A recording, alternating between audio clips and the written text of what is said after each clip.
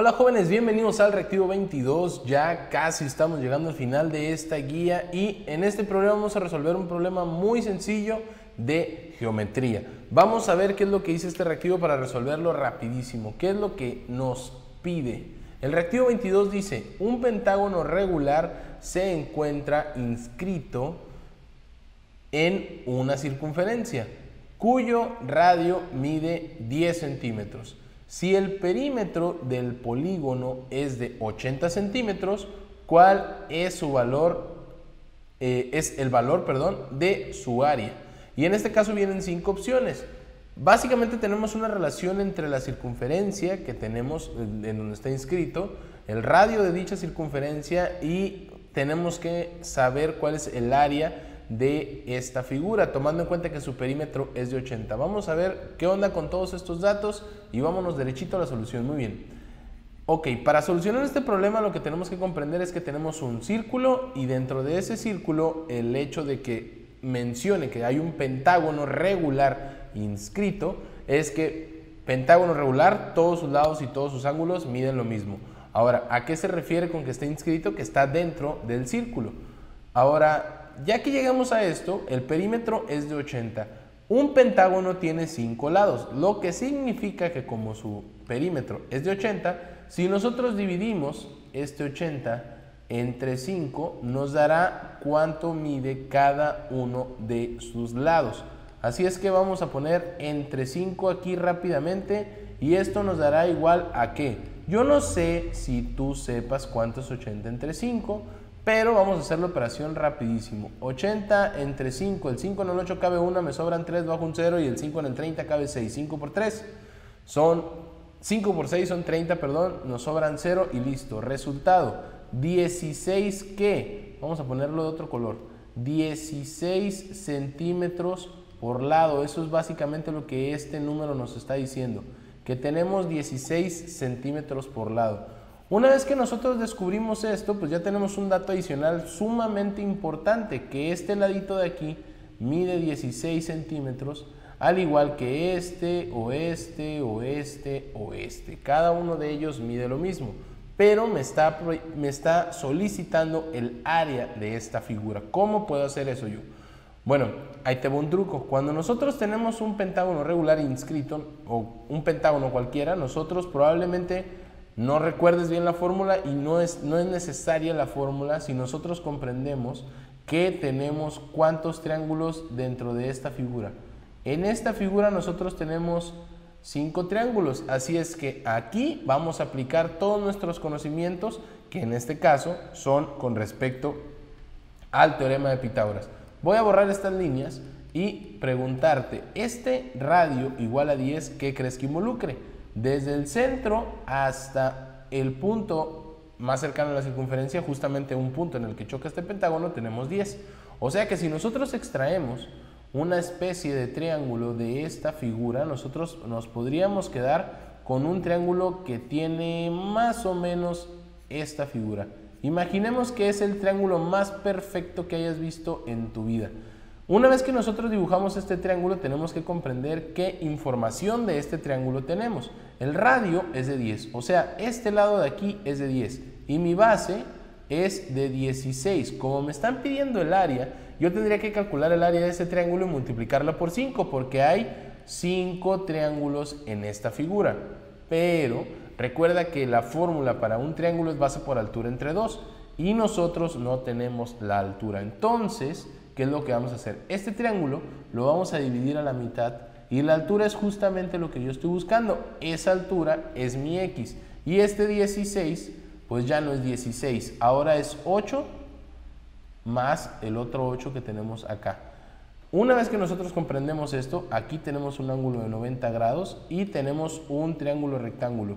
Por eso es que te comenté que tenemos básicamente un teorema de Pitágoras.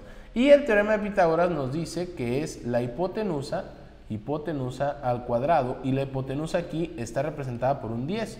Hipotenusa al cuadrado es igual a cateto al cuadrado, que en este caso es un 8, más el otro cateto también al cuadrado, que en este caso es una x. Este sería el cateto que yo estoy diciendo. Hipotenusa al cuadrado es igual a cateto al cuadrado más el otro cateto al cuadrado. 10 al cuadrado, ¿cuánto es? Es 100. Entonces escribimos 100 es igual a 8 por 8 son 64. Esto nos dará como resultado el valor de x una vez que terminemos más x al cuadrado. 64 positivo pasa negativo y nos queda 100 menos 64 es igual a x al cuadrado. ¿Cuánto es 100 menos 64? Son 36. 36 es el valor de quién? De mi x cuadrada. Por lo tanto, vamos a ponerlo justo aquí a la derecha, por lo tanto, x es igual a la raíz de 36 y eso nos da como resultado que 6 centímetros es justamente la altura. Sí, porque 6 por 6 son 36. Muy bien. 6 centímetros es lo que yo tengo en altura. Y básicamente, una vez que nosotros tenemos la altura, podemos decir que base por altura, entre 2 nos dará el área de este triángulo completito, ya no solo la mitad. Muy bien, ¿cuál es la base?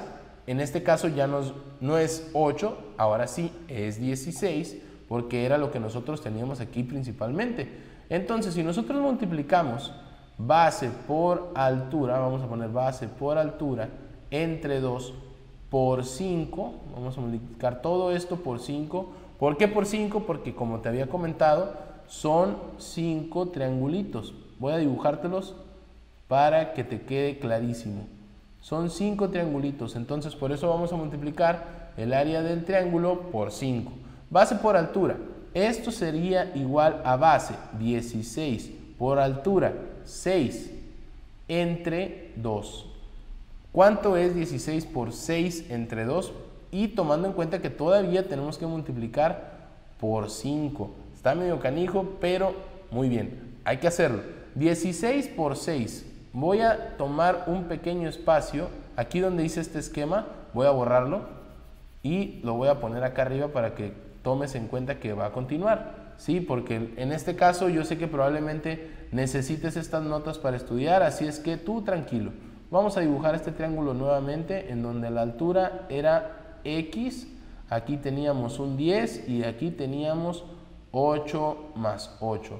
Para que tomes en cuenta esto en tus notas. 16 por 6, primera multiplicación que vamos a hacer.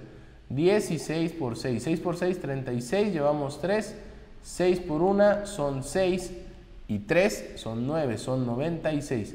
96, vamos a borrar esta operación, 96 lo estoy dividiendo entre 2.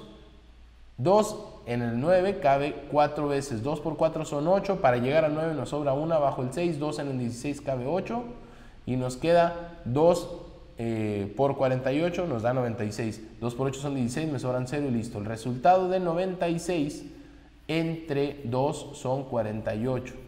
Muy bien, estamos cerca. 48 lo vamos a multiplicar todavía por 5. 48 por 5.